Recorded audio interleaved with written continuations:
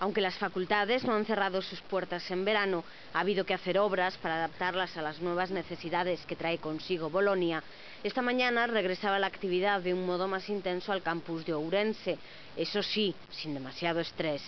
El curso 2009-2010 será un curso de cambios. En total, en la Universidad de Vigo se impartirán 23 grados, 65 másters y 38 programas de doctorado, adaptados al Plan Bolonia. A esto hay que añadir 44 licenciaturas, diplomaturas, ingenierías y titulaciones propias que se seguirán impartiendo de forma simultánea a los grados.